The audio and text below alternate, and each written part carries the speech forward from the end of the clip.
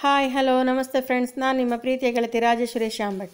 ಇವತ್ತು ನಾವು ಅಲಸಂದಿ, ಕೊಟ್ಟಿಗೆ ಅಥವಾ ಕಡುಬು ಮಾಡೋದು ಹೇಗೆ ಅಂತ ನೋಡುವ. ಇಲ್ಲಿ ನಾನು ಕಾಲು ಕೆ ಜಿಯಷ್ಟು ಅಲಸಂದಿಯನ್ನು ತಗೊಂಡಿದ್ದೀನಿ. ಇದನ್ನು ನಾವು ಅಲಸಂಡೆ ಅಂತ ಕೂಡ ಹೇಳ್ತೇವೆ.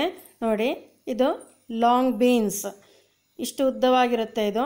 ಕೆಲವು ಸಣ್ಣದು ಕೂಡ ಇರುತ್ತೆ ಸೈಜಲ್ಲಿ ಈಗ ನಾವು ಈ ಅಲಸಂದಿಯನ್ನು ಸಣ್ಣದಾಗಿ ಹಚ್ಕೋಬೇಕು. ಎಷ್ಟು ಸಣ್ಣಕ್ಕೆ ಸಾಧ್ಯವೋ ಅಷ್ಟು ಸಣ್ಣದಾಗಿ ಇದನ್ನು ಈ ರೀತಿ ಹೆಚ್ಚಿ ರೆಡಿ ಇಟ್ಕೋಬೇಕು.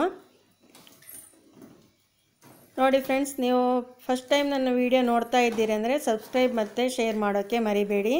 ಹಾಗೆ ವಿಡಿಯೋ ನೋಡ್ತಾ ಇರೋರು ಸಬ್ಸ್ಕ್ರೈಬ್ ಮತ್ತು ಶೇರ್ ಮಾಡಿ ಸಪೋರ್ಟ್ ಮಾಡಿ ಫ್ರೆಂಡ್ಸ್ ಇದಕ್ಕೆ ನಾನೀಗ ಒಂದು ಕಪ್ ತೆಂಗಿನ ತುರಿ ಕೂಡ ತಗೊಂಡಿದ್ದೀನಿ. ಈಗ ನಾನಿಲ್ಲಿ ಹಿಂದಿನ ದಿನ ರಾತ್ರಿ ನೆನೆ ಹಾಕಿರುವಂತಹ ಎರಡು ಕಪ್ ಅಕ್ಕಿಯನ್ನು ತಗೊಂಡಿದ್ದೇನೆ. ಇದನ್ನು ಚೆನ್ನಾಗಿ ತೊಳೆದು ರೆಡಿ ಇಟ್ಕೊಂಡಿದ್ದೇನೆ ಈಗ. ಮಿಕ್ಸಿ ಜಾರಿಗೆ ನಾನು ಅಕ್ಕಿಯನ್ನು ಹಾಕ್ತೇನೆ. ಹಾಗೆ ತೆಂಗಿನ ತುರಿ ಒಂದು ಕಪ್ ಕೂಡ ಸೇರಿಸ್ಕೋತೇನೆ.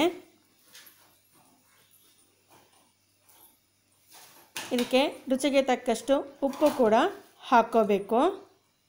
ಹಾಗೆ ಸ್ವಲ್ಪ ನೀರನ್ನು ಸೇರಿಸ್ಕೊಂಡು ಇದನ್ನು ರುಬ್ಕೋಬೇಕು. ಇದು ತುಂಬ ನೈಸಾಗಿ ಕಡಿಲಿಕ್ಕಿಲ್ಲ. ಇದನ್ನು ನಾವೀಗ ಸ್ವಲ್ಪ ತರಿ ತರಿಯಾಗಿ ಈ ರುಬ್ಬಿದ ಮಿಶ್ರಣವನ್ನು ನಾವೀಗ ಒಂದು ಪಾತ್ರೆಗೆ ಹಾಕ್ಕೊಳ್ಳುವ ಹಿಟ್ಟು ಈ ಹದದಲ್ಲಿ ಇರ್ತದೆ. ಇದು ತುಂಬ ನೀರು ನೀರಾಗಿರೋದಿಲ್ಲ, ಸ್ವಲ್ಪ ದಪ್ಪಕ್ಕೆ ಇರ್ತದೆ. ಅದಕ್ಕೆ ನಾನೀಗ ಅಲಸಂದಿಯನ್ನು ಸೇರಿಸ್ಕೊತೀನಿ. ಎಷ್ಟು ಸಣ್ಣಕ್ಕೆ ಸಾಧ್ಯವೋ ಅಷ್ಟು ಸಣ್ಣಕ್ಕೆ ಹೆಚ್ಚಿರುವಂತಹ ಅಲಸಂದಿ ಇದು. ಇದನ್ನೀಗ ಚೆನ್ನಾಗಿ ಮಿಕ್ಸ್ ಮಾಡ್ಕೊಳ್ಳುವ. ನೋಡಿ ಇಡ್ಲಿ ಹಿಟ್ಟಿನ ಹದದಲ್ಲೇ ಇರ್ತದೆ ಈ ಹಿಟ್ಟು. ಈಗ ಬಾಳೆಲೆಯನ್ನು ಬಾಡಿಸಿಟ್ಟು ಅದನ್ನು ತೊಳೆದಿರುವಂಥದ್ದು. ಅದಕ್ಕೆ ನಾನು ಹಿಟ್ಟನ್ನು ಹಾಕ್ಕೊಂಡು ಸ್ವಲ್ಪ ಇದನ್ನು ಹರಡ್ಕೋತೀನಿ. ಹಾಗೆ ಇದನ್ನೀಗ ನಾವು ಮಡಿಸ್ಕೋಬೇಕು ಮಾಮೂಲಿ ಎಲ್ಲ ಕೊಟ್ಟಿಗೆಯನ್ನು ನಾವು ಹೇಗೆ ಮಾಡ್ತೇವೋ ಅದೇ ಥರನೇ ಬಾಳೆಲೆಯನ್ನು ಈ ರೀತಿ ಫೋಲ್ಡ್ ಮಾಡ್ಕೋಬೇಕು ಇದನ್ನು. ನೋಡಿ ಇದರ ಅಂಚುಗಳನ್ನು ಕೂಡ ನಾವು ಹೀಗೆ ಮಡಿಸ್ಕೊಂಡು ಆಮೇಲೆ ಇದನ್ನು ಇಡ್ಲಿ ಪಾತ್ರೆಯಲ್ಲಿ ಇಟ್ಬಿಟ್ಟು ಬೇಯಿಸುವಂಥದ್ದು. ನೋಡಿ, ಇನ್ನೊಂದು ತೋರಿಸ್ತಾ ಇದ್ದೀನಿ ನಾನು. ಈ ರೀತಿಯಾಗಿ ಹಿಟ್ಟನ್ನು ಹಾಕಿ ಸ್ವಲ್ಪ ಹರಡ್ಕೊಳ್ಳಿ.